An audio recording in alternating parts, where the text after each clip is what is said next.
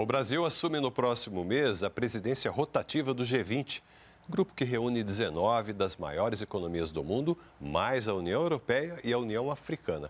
E hoje foi instalada a Comissão Nacional para a coordenação da presidência brasileira deste grupo. À frente do G20, o governo brasileiro vai priorizar o combate à fome e às mudanças climáticas. A coordenação do bloco vai contar com ampla participação da sociedade civil. Ao instalar a Comissão Nacional do G20, o presidente Lula afirmou que a prioridade do governo brasileiro durante a presidência do bloco será o combate à fome e às mudanças climáticas. Não é mais humanamente explicável um mundo tão rico, com tanto dinheiro atravessando os Atlânticos, a gente ter tanta gente ainda passando fome. Um outro assunto que a gente vai discutir com muita força é a questão climática a questão da transição energética. Essa transição energética se apresenta para o Brasil como a oportunidade que nós não tivemos no século XX, de termos no século XXI a possibilidade de mostrarmos ao mundo que quem quiser utilizar a energia verde para produzir aquilo que é necessário à humanidade, o Brasil é o porto seguro para que as pessoas possam vir aqui, fazer os seus investimentos e fazer com que esse país se transforme num país definitivamente desenvolvido. O país vai assumir pela primeira vez em dezembro a coordenação do grupo, que reúne 19 das maiores economias do mundo, mais a União Europeia e a União Africana.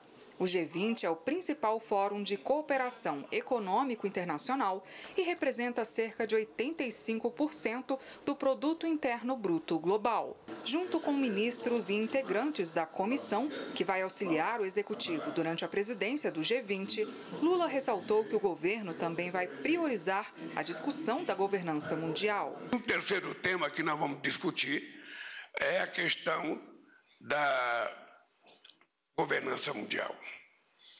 Quer dizer, não é possível que as instituições de Bretton Woods, do Banco Mundial, o FMI e tantas outras instituições financeiras continuem funcionando como se nada tivesse acontecendo no mundo, como se tivesse tudo resolvido. Muitas vezes instituições que emprestam dinheiro não com o objetivo de salvar o país que está tomando dinheiro emprestado, mas para pagar dívida sabe? E não para produzir um ativo produtivo, numa demonstração de que não há contribuição para salvar a vida dos países. À frente do G20, o governo brasileiro também quer lançar uma iniciativa para a bioeconomia e outra para o empoderamento das mulheres. E também vamos lançar uma, uma iniciativa para a bioeconomia.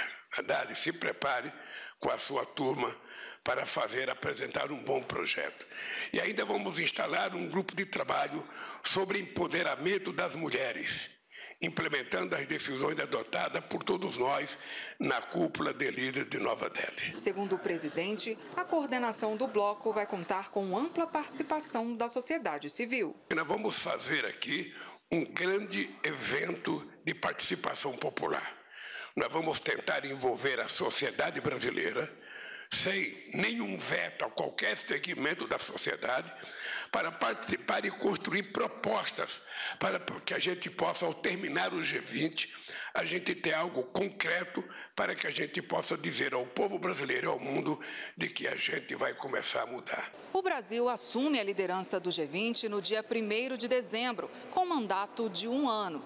Durante esse período, serão realizadas mais de 100 reuniões oficiais em várias cidades do país, a primeira delas marcada para os dias 11 a 15 de dezembro, aqui em Brasília.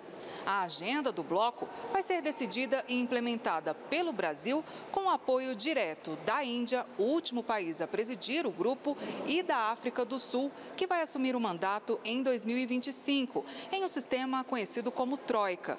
O evento que encerra a presidência brasileira do G20 será a 19ª cúpula de chefes de Estado e governo em novembro de 2024, no Rio de Janeiro. O calendário geral da presidência brasileira do G20 prevê três fases. Uma primeira fase de reuniões por videoconferência nos meses de janeiro e fevereiro, abrangendo todas, todos os, os 15 grupos de trabalho da trilha de Sherpas. Uma segunda fase de reuniões técnicas presenciais entre os meses de março e junho, distribuídas por diversas cidades e regiões brasileiras, e uma terceira e última fase de reuniões ministeriais presenciais, igualmente distribuídas pelo país nos meses de agosto a outubro. Toda essa sequência de reunião visa preparar o evento máximo da presidência brasileira do G20, que será a cúpula do Rio de Janeiro nos dias 18 e 19 de novembro de 2024. O presidente Lula pediu aos ministros empenho para que o trabalho, que será desafiador, seja o melhor possível. É uma tarefa árdua, é a primeira vez.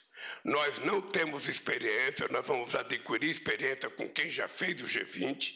Por isso, a coordenação vai ficar muito sobre o Itamaraty e sobre a Fazenda, e vai ter grupo de trabalhos específicos, e eu espero que vocês, desde vocês, como diz uma jogadora de futebol feminino, um jogador, que vocês deem o seu melhor para que a gente possa colher o mais melhor.